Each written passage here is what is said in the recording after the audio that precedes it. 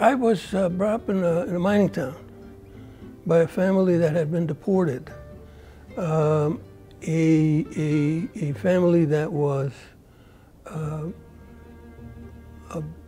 very cautious in, in, how we presented ourselves, uh, simply because at that time, 1950s, you didn't go around saying I'm undocumented. Uh, God knows what could happen to you. I went to the uh, Army when I was very young. I come from a family where no one had ever gone to college. Uh, no one had ever, I mean, that wasn't sort of part of the ambition of the family.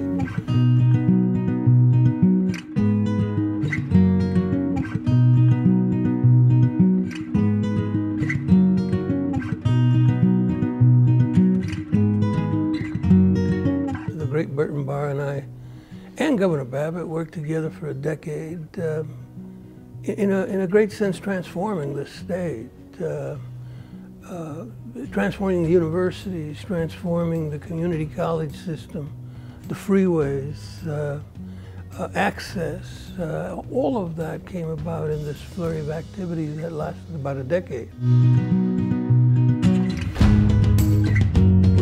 He was a war hero, first of all, and I was uh, your day-by-day -day grunt. Uh, but, but he was an extraordinary war hero. He had great leadership capacity.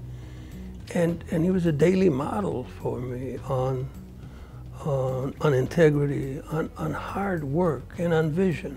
At the legislature, there is a function almost every day given by every special interest group you can think of.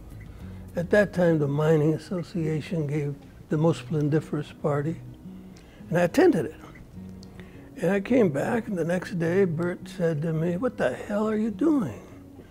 Uh, I said, Well, I don't know. They were giving away free shrimp. and, uh, and he said, Do you want to compromise you? What they're doing to you? They're slowly, slowly grooming you to sell out, to lose your independence and lose your integrity.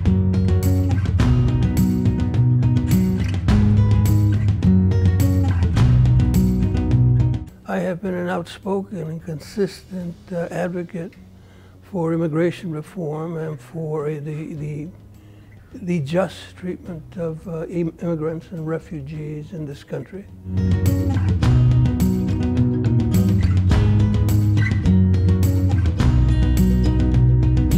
It's a little too soon for that. You know, I'm 73 years old, but I have, uh, I, I, I haven't, I haven't some of my friends, some of my friends who are you know, 65, 70, etc., have something happened in their heads. You know, there's been a little switch when they begin to slow down. They begin to stay home and watch daytime TV. Uh, they begin to golf. Uh, it's a sad scene to watch a 70-year-old try to learn how to golf. Uh, I, that switch hasn't hasn't gone on me yet. I, I'm still ambitious to do many, many things. When I start thinking about my legacy, you'll know that the switch went on and I'm probably watching daytime TV. That isn't going to happen soon.